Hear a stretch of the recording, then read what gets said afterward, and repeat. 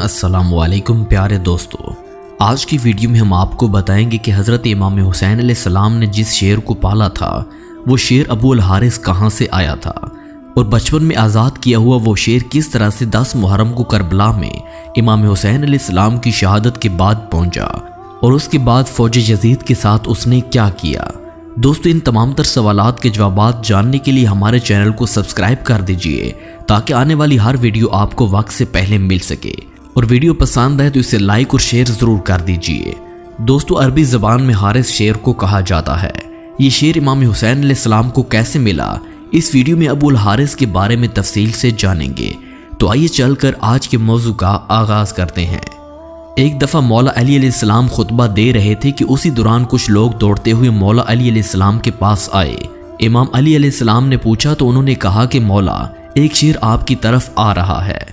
मौला अली सलाम ने फरमाया कि बैठ जाओ, ये शेर किसी को कुछ नहीं कहेगा। ये बात अभी ख़त्म नहीं हुई थी कि एक बहुत ही बड़े शेर ने हज़रत अली के कदमों में सर रख कर सलामी दी। उसके बाद उस शेर ने एक चंद दिन का बच्चा मौला अली सलाम की खिदमत में पेश किया। शेर ने अपनी जबान में हज़रत अली से कहा कि, मौला, मैं इस बच्चे का बाप नहीं, इसकी माँ हूँ। इस बच्चे का बाप मर चुका है। उस शेरनी ने हज़रत अली सलाम से कहा कि, मौला, मैं चाहती हूँ कि ये पलकर जवान भी हो जाए और महफूज भी रहे। दोस्तों, मौला अली ने फरमाया कि, मुतमिन होकर चली जाओ। ये अली का वादा है कि इसे यतीमी का एहसास नहीं होगा। मैं ये बच्चा उसे दूँगा जो यतीमों की परवरिश कर सकता हो। उस शेरनी ने कहा कि, मौला, वो कौन है जो हैवानों को भी यतीमी का एहसास नहीं होने देता? तो हज़रत अली ने फरमाया कि, मेरा एक बेटा है जिसका नाम हुसैन है। यतीमों की उससे ज़्यादा परवरिश करना कोई नहीं जानता। मौला अली इस्लाम ने फरमाया कि अय हुसैन, ये शेर के बच्चे को तुम ले जाओ। इमाम हुसैन इस्लाम ने उस चंद दिन के बच्चे को उठाया, उसके सर पर शफकत से हाथ फेरा और फरमाया, आज से इसका नाम अबूल हारिस है। अबूल हारिस की बचपन से ही इमाम हुसैन सलाम से दोस्ती हो गई। वो हर जगह पर इमाम हुसैन सलाम के साथ रहता था। उस शेर को इमाम हुसैन सलाम से इंतहाई मोहब्बत और अकीदत थी। जब ये शेर बड़ा हो गया तो कुछ लोग मौला अली सलाम के पास आए और कहने लगे, या अली, अब ये शेर बड़ा हो गया है, हमें इससे खौफ आता है, ये कहीं हमें नुकसान न पहुँचा दे। हज़रत अली सलाम घर तशरीफ़ लाए और इमाम हुसैन सलाम से कहने लगे, बेटा, मैं नहीं कह रहा, लेकिन अब के लोग कह रहे हैं कि अबुल हारिस जवान हो चुका है, अब इससे हमें खतरा है। बेटा, अबुल हारिस को आज़ाद कर दो। दोस्तों, ये सुनना था कि इमाम हुसैन इस्लाम की आँखों में आँसू आ गए। मौला अली इस्लाम को देखकर मुस्कुराए और अपने बाबा की गर्दन में प्यार से बाहें डालकर मुस्कुरा कर कहा, बाबा जान जैसे आपका हुक्म है। लेकिन उसके साथ ही इमाम हुसैन इस्लाम के बड़े बड़े आँसू रुखसारों पर आ गए। इमाम हुसैन इस्लाम ने फरमाया, बाबा जान, आज का दिन निकालें। कल अबूल हारिस आपको नज़र नहीं आएगा। इमाम अली इस्लाम ने फरमाया, बेटा हुसैन, आज के दिन क्या करोगे? इमाम हुसैन इस्लाम रोए और फरमाया, बाबा जान, देखें, बाहर शाम हो गई है। ये वक्त किसी को घर से बाहर निकालने का नहीं। मौला अली इस्लाम ने इमाम हुसैन को सीने से लगाया। जब मौला तहजद के वक्त शेर को खुराक देने के लिए गए तो अबुल हारिस ने कहा कि, मौला, आज इतनी जल्दी एहसान। मौला ने सारी बात अबुल हारिस को बताई।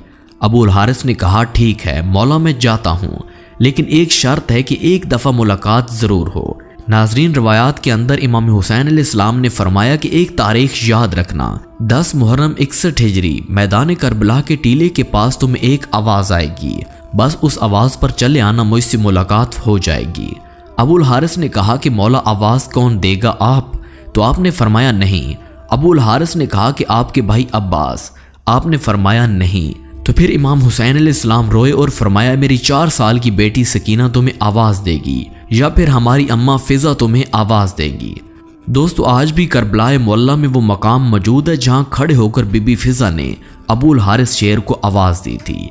इमाम हुसैन इस्लाम ने जब अबूल हारिस को आज़ाद किया तो उन्होंने फरमाया ए अबूल हारिस, तुम मुल्क इराक में चले जाओ। वहाँ में नैनवा का एक जंगल है। उस जंगल का बादशाह शेर मर चुका है।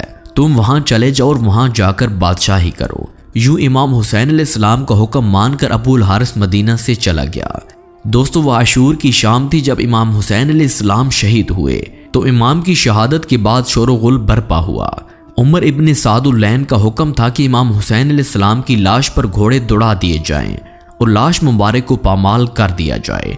ये वाह सुनकर अहले हरम में क्यामत बर्पा हो गई। जैसे ही अफवाज अशकिया के अंदर ये ऐलान हुए तो बीबी फिजा हज़रत बीबी जैनब खातून इस्लाम इस्लाम के पास आईं। जनाब फिजा बुलंद कमाल और बाहिम्मत व बाफजीलत खातून थी, जिनकी तरफ़ मुख्तलिफ़ तारीखी और दीगर कुतब में इशारा मिलता है। वो कहने लगी कि अह मेरी पाक सईदा, रसूल खुदा अलैहि वसल्लम के एक सहाबी थे, जो समुंदर में सफ़र कर रहे थे, उसकी कश्ती टूट गई। वो कश्ती के एक लकड़ी के तख्ते का सहारा लेकर एक जजीरे पर पहुँचा। उस वैरान जजीरे में उसने एक शेर को देखा। वो शख्स शेर को कहने लगा कि मुझे अजियत मत देना, मैं रसूल खुदा सल्लल्लाहु अलैहि वसल्लम का गुलाम हूँ। तो उस शेर ने जैसे ही उस सहाबी की बात सुनी तो वो उसे मारने की बजाय उसे सही रास्ते पर ले गया।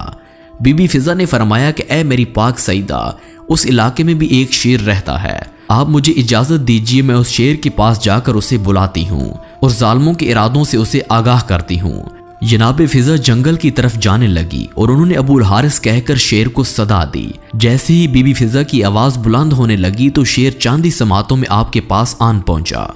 बीबी फिजा ने फरमाया कि अबुल हारिस, क्या तुझे मालूम है कि ये जालिम इमाम हुसैन इस्लाम के जिसम में अतर को पामाल करना चाहते हैं?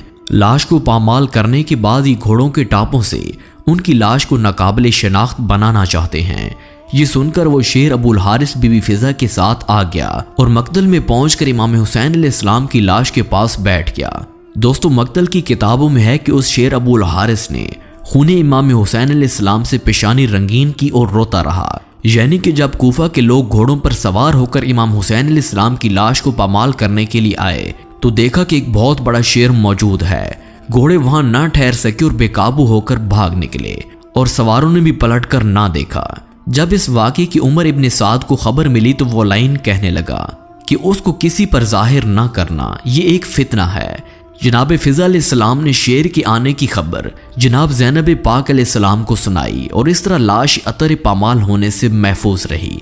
दोस्तों, कुछ लोगों ने रवायत की है कि बीबी फिजा ने शेर अबुल हारिस को इमाम हुसैन इस्लाम की लाश ढूँढने के लिए बुलाया था, जो कि जजीदी फौज ने लाश अकदस पर घोड़े दौड़ाकर पामाल कर दिया था। और वो घोड़े के नाम से मशहूर थे, जिन्होंने अपने घोड़ों के टापों से नबी के नवासे इमाम हुसैन इस्लाम का जिसम रोन डाला था। इसका ज़िक्र मुकातिल की किताब रियाजुल कुदस में मौजूद है। इसके अलावा मुआल सबदैन की जिल दोम के सफ़ा नंबर चौरानवे और पिचानवे पर यह वाक़ मौजूद है। और मुक्तल की किताब रियाजुल कुदस में सफ़ा नंबर 325 से 326 पर यह वाक़ दर्ज है। हर सिमत यही होता है चर्चा हुसैन का। दुनिया में बेनज़ीर है सजदा हुसैन का। जी तो दोस्तों, ये थी हमारी आज की वीडियो। उम्मीद करते हैं कि हमारी आज की वीडियो आपको पसंद आई होगी। अगर आज की वीडियो आपको पसंद आई हो तो कमेंट सेक्शन में अपने ख्याल का इजहार ज़रूर कीजिएगा। और इस वीडियो को दूसरे बहनों और भाइयों में शेयर ज़रूर कीजिएगा। इन बहुत जल्द मिलते हैं एक नई वीडियो के साथ। तब तक अपना और अपने प्यारों का ख्याल रखिए। अल्लाह नेगेबान